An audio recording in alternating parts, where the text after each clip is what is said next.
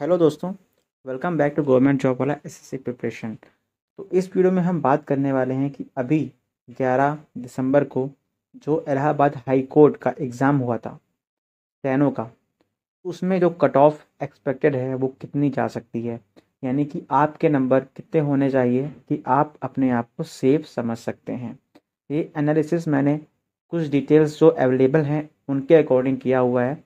तो जो भी कट ऑफ़ मैं आपको बता रहा हूँ उसमें प्लस माइनस आप फाइव नंबर कर सकते हैं। मैंने ऑलरेडी उसको डिवाइड किया हुआ है।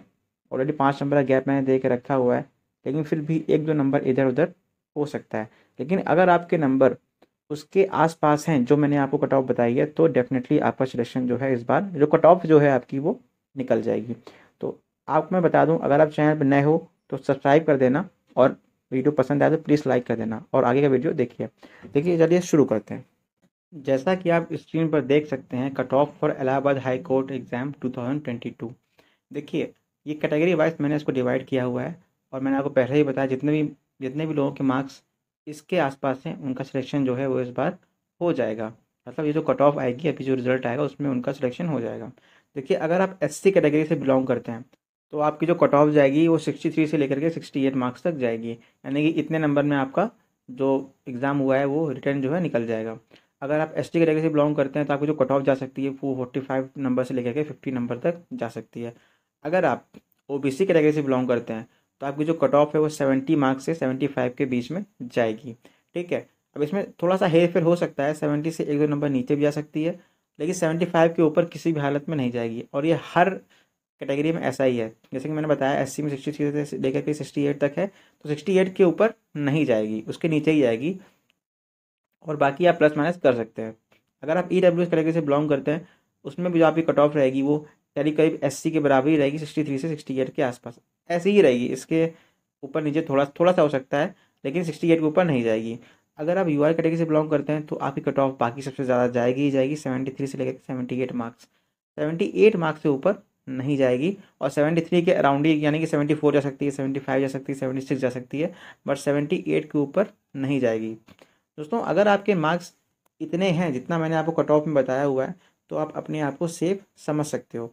और ये इलाहाबाद हाईकोर्ट का जो एग्ज़ाम हुआ है अभी ग्यारह दिसंबर को, ये उसके रिलेटेड कट ऑफ़ मैंने बताई हुई है। जितना भी डेटा मेरे पास अवेलेबल था, जितनी भी इन्फॉर्मेशन आ पाई है, उसके अकॉर्डिंग मैंने बताया हुआ है। बाकी जो फाइनल कट ऑफ़ बनाएँगे, वो जब रिज़ल्ट आ जाएगा, उसके बाद जब एग्ज़ाम हो जाएगा, फिर फाइनल कट ऑफ़ हम आपको बता सकते हैं। अभी अगर एनालिसिस कर देंगे तो कहीं ना कहीं वो फेक हो जाएगा और फेक मैं करना नहीं चाहता हूँ ओके तो यही है, अगर आपके नंबर इतने आ रहे हैं तो अपने आप को सेफ़ समझ सकते हैं। और जितना मैंने बताया हुआ है, उससे ज़्यादा कट ऑफ़ बिल्कुल भी जाने के चांसेस ही नहीं है। उसका रीज़न ये है कि जो पेपर था, वो जो बच्चे दे कर के आए हैं, वो ये सबसे पूछा है, कई लोगों से पूछा गया तो उन्होंने बताया कि जो पेपर था, वो सी के लेवल का था। मैथ्स वगैरह और भी जो चीज़ें थी, कहीं ना कहीं उसका लेवल ज़्यादा था। तो इसलिए कट ऑफ़ बहुत ज़्यादा जाने के चांसेस बहुत ही कम है, क्योंकि बच्चे उतना अच्छा स्कोर नहीं कर पाए हैं।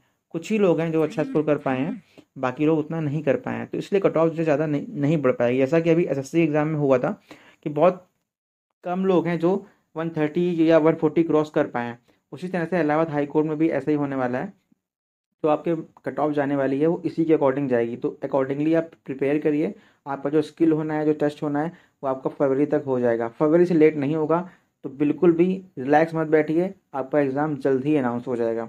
और रिज़ल्ट भी आपका जल्द ही आने वाला है। कुछ भी लेट नहीं होगा। जनवरी में आपका रिज़ल्ट जो है आ जाएगा। जनवरी के सेकेंड या थर्ड वीक में आपका रिज़ल्ट जो है आपके हाथ में होगा और फरवरी के लास्ट तक आपका जो है स्किल टेस्ट जो है वो हो जाएगा।